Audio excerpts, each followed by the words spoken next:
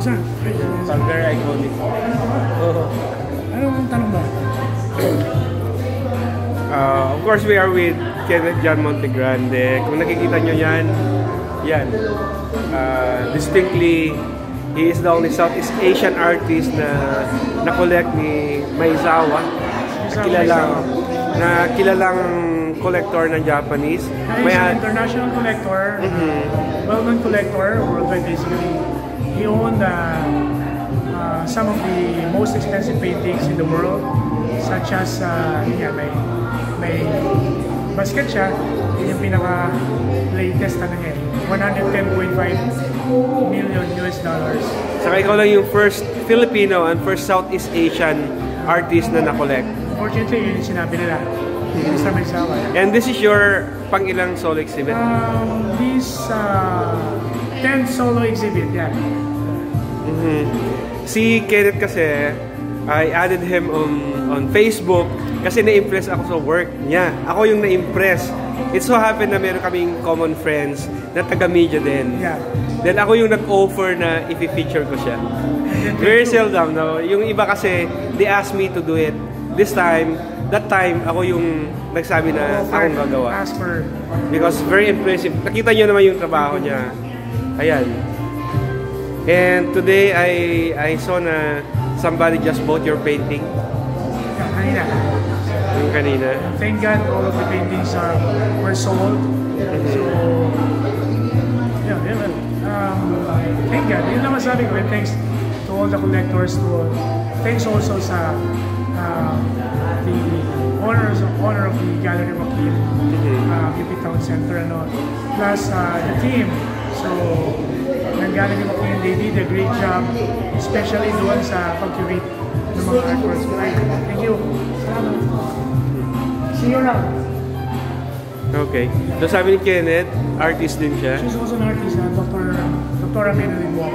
So, Why don't, why don't we go around your work na very impressive? Yeah. So, one, the title of this one, Uh-huh. is Life Goes On. So as you can see, there's uh, waters, the river actually, and then clouds here and there. On the uh, on the side, there's a uh, rock mountain. So basically, uh, why is it Life Goes On? Parang, you know, sa buhay natin, tuloy-tuloy lang talaga tayo, whatever happens, ups and downs. So just do your thing, just appreciate everything, and it. So one of the good images taken, aside from the river and then the rock mountains, uh, from afar, um, kasi at the end, um, we, I actually, every time I paint, and then binibigyan ko na ng title, and then, uh, kino-contemplate ko yung title as the meaning of the painting. So, nung before, na, na ano ko naman, life goes on. Pero, uh, later on, habang tinitingnan ko siya, may si Jesus Christ is nandito, na crucifix. So, nandito siya. So, from afar, medyo pinakot yung ano na, head, ganon. And then yung Oh. pinig niya is. So, since pa rin. So, if God is with you, tuloy-tuloy lang ang buhay. And the other one is very colorful. Okay, dito. Yan. The title is Life is Beautiful. Life is uh, beautiful beyond measure. So, ano lang, lang. So, very colorful ang buhay. Ako, I know how you get your inspiration because out of your experiences, out of, Yeah, out of your uh, not faith. on- Not, only my own experience, of course, everyone, diba, lahat tayo, all of us, uh, dumadaan sa mga problema, no, happiness, different kinds of experience diba, sa atin, experience natin sa buhay. So, just like that, so, um, sabi ko eh, just, key point is ano eh, key point is, appreciate everything. And even in the darkest moment, appreciate. Once you appreciate everything, makikita mo yung positive side ng situation. That's Yeah. basically the keys of my Sa mga hindi pala nakakalam, si Kent is also a businessman. At ah, matulungin po siya. Yung sa nangyari sa Taal, nandun sila. Kaya, um, well, given, ano lang eh, given it will be given to you sa akin. Uh-huh. So- This one is very inspiring. Armor of God. This one is Armor of God, so kung makikita mo, so sabi ng may, may isang verse, verse of the Bible na always wear the armor of God para bakit? Kasi para yung attack ng kalaban, we are always protected with the the attack of the enemies. Diba? So this one, in my painting, this one is an abstract expressionism. But later on, naging in between ng expressionism and impressionism. Why? Because as you can see, there's an armor here. Yeah. Right? Diba? Wearing the armor of once na nasa ano tayo, battle, Oh. ano ba sinusuot natin? He's riding a, a horse, ready to fight. One of my favorites actually. Talaga. Sa mga hindi pa nakakalam pala, two, two weeks ago I was in Qatar. I was so surprised kasi sinabi sa akin na kasi may sculptor doon na ang medium naman niya is mga tinidor, kutsara, Filipino si Danny Ponce. Tapos sabi nila na there's another Filipino artist that, that you should be here, that should be here. Then tinanong ko sino, at that time nag, magka-PM kami ni Kenneth, sabi nila si Kenneth Montegrande. What? Uh, surprisingly, they, they remember my name. Yeah. Nga lang, actually, I was supposed to be part of the um, Qatar Art Fair. So the Department of Tourism of Qatar uh, invited me actually, but uh, something lang eh, it didn't materialize because yung sa preparations, plus during the time that they approached me, medyo close na dun sa deadline nila. Eh, the problem is, meron akong preparation for my nine solo exhibit dun sa Manila Art. That, that was last year, in November. So, yun. Since approved ka na, they are still waiting for you. Well, I'm willing and uh, very happy, glad to you know share my artworks. Yun naman ang ano natin eh, to everyone. Imagine talagang gulat ko. Sabi ko, he's my friend. Ayun, so... Congratulations kasi yung mga ah, hindi naman lahat napipili eh. Di ba? So yeah, these are some of the new series that uh, artworks. It's, uh, basically, this one is a combination of uh, landscape, landscape, and uh, uh, how do you call it, uh, waterscape series.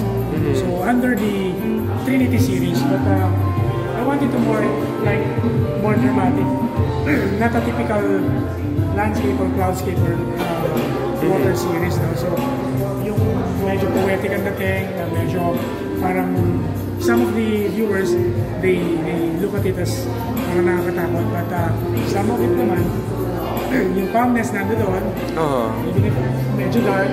So, it's a mixed emotions, a combination ng feelings. So, dito lang iba, white naman yung background, black. Ano pa rin This siya? ano, uh, this one is a landscape and cloudscape naman. Mhm. So if you can see from afar, there's a, cla- basically yung, yung, yung, yung supposed to, what do you call it, a fog. Mhm. And there's a rocks here. If you look at it, Oo. see, so this one, Yeah. landscape yan eh. So may konting fog lang, tapos yung lighting doon, medyo dark inside. Parang, parang, um, doomsday na thing. Mm. But of course, uh, it depends on sa makeup. But for me, it's very calmness. So, it's calmness. And, okay. ano? Okay. And of course, si...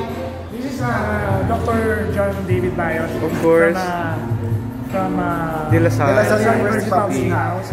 And he is uh, one of my best friend brother and then uh, one, the author of my book, coming soon.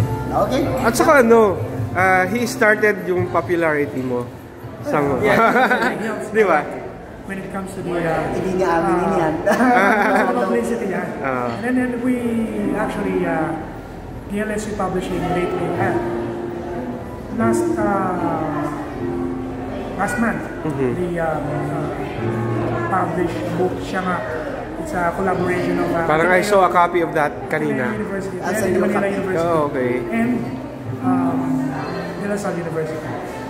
Sir, Professor, my pleasure to meet you. My pleasure to meet you, Carlo. Yep, yep, bye-bye. See you. Ingat, ingat. See you. Bye-bye. Bye-bye. Yeah,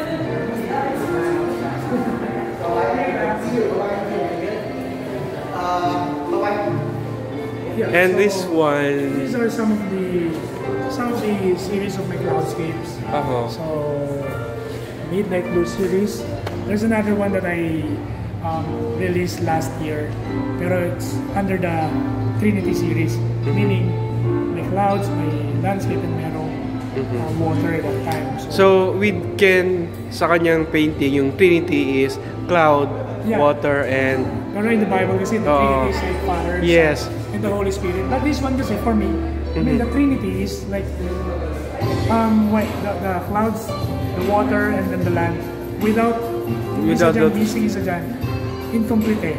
So, So yun, sa mga makapanood dito, alam nyo na ano, ano ibig sabihin nun sa painting ni Ken, Yung Trinity. Ang lalaki ng paintings mo, Ken. Parang, how long would it take you to finish one? Sa, masakit sa balikat. Oh yeah, itong when it comes to ano talaga, sobrang, especially yung mga big, yung mga big sizes. Mhm. Um, it depends. Uh, depende sa mood eh. Talagang you, you can say na kailangan kaya mong tapusin ng ilang araw. There are some paintings Ah, yung linggo. average na. There are some, well, at least in a week. Hopefully makatapos ako na isa. Ayun eh, kapag sinapian ka ng espiritu ng, alam mo yun, eh, ng uh, pag-paint mo talaga. For this exhibit, so I think there are 13 ba? 13? Yeah, I, we, I prepared 13 uh, pieces. So, 3 by 2 by 2, 3 by 3, merong 4 by 4, 4 So by ito yung 6, pinakamalaki? 4 5. No, those are... Those, That one is that the- one. is the. Yung life is The beautiful. second one, that one is uh, 4 by 6. 4 Oo. by 6 na one. And this one, hindi na kita. Ah, yan, yan, yan, yan. That's 4 by 5. Ayun, yun, yun. That one, that the one. yellow one, Oo. Armor of God, God 4 by 4.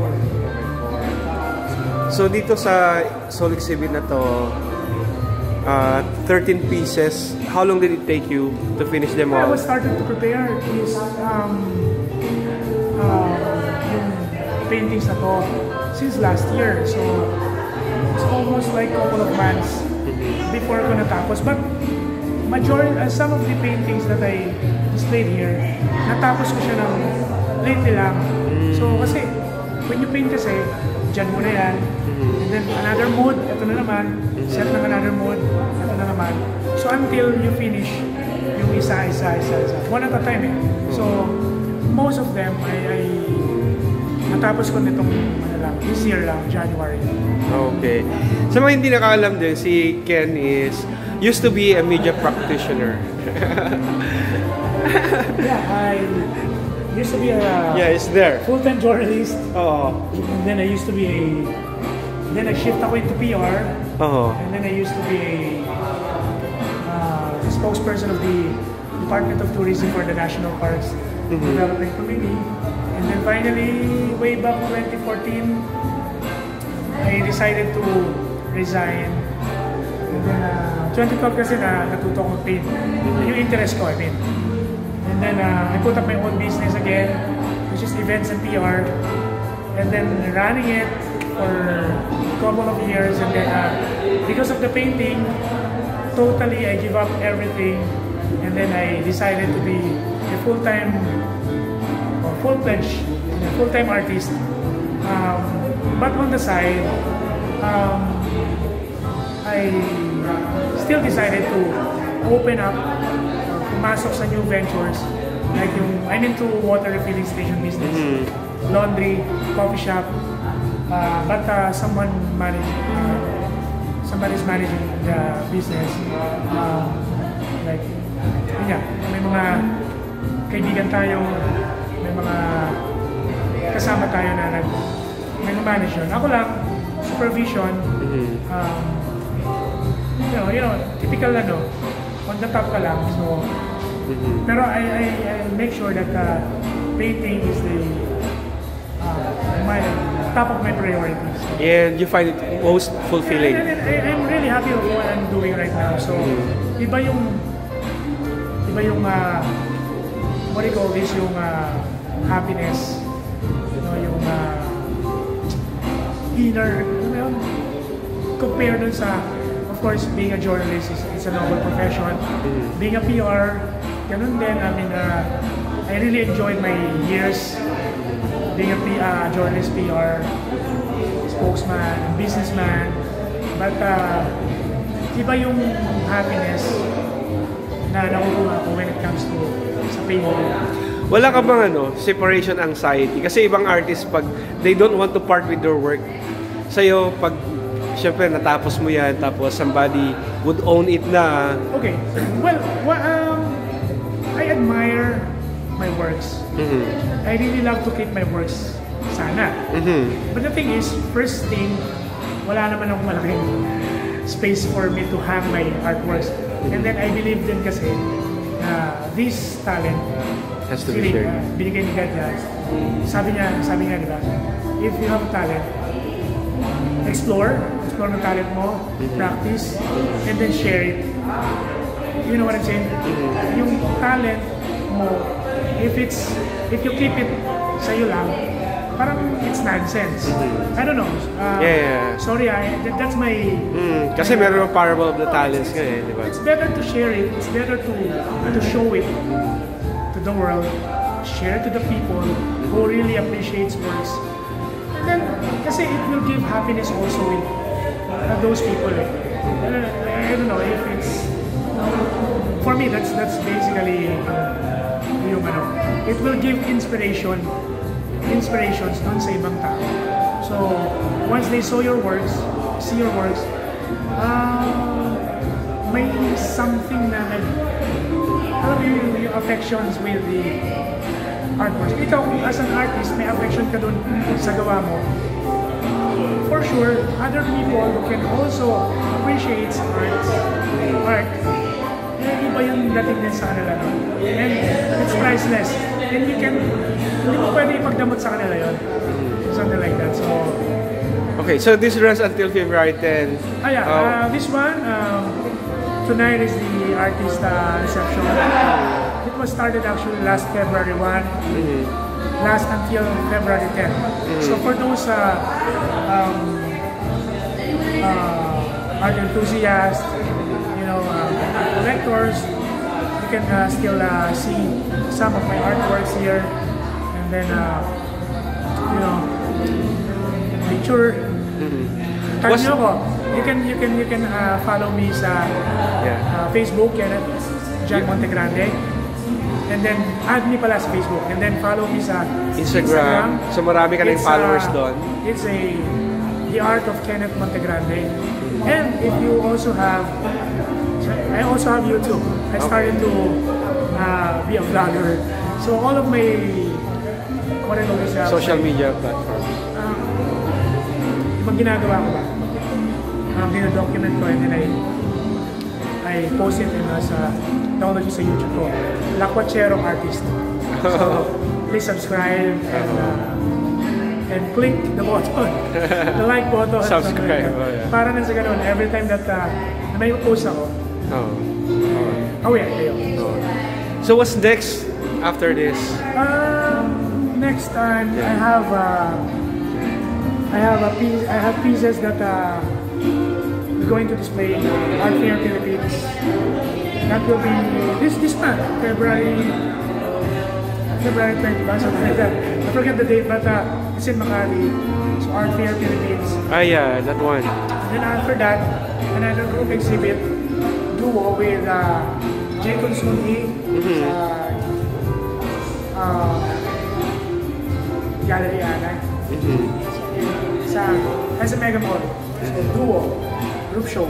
Then after that, May naman, meron naman, ah, that's, that's a May. And then meron mga, most of the exhibits this year are, next year, this year, I mean, are puro group exhibits. So hopefully, hopefully, another solo show. Maybe on uh, October, November. Super super busy. That will be for a cause. Oo, okay. And probably yung Qatar matutuloy na. Ah, yeah, um, if, um, well, basically si Qatar, ano, Qatar Department of Tourism ni Qatar, uh, emailed me already. And uh, they asked me for, I mean, they, we have a series of communications. So, hopefully mag-materialize. So, hindi na mabitin. Okay, congratulations Ken. Thank you po. Salamat po. Okay. Alright. Congratulations. Ay, thank you.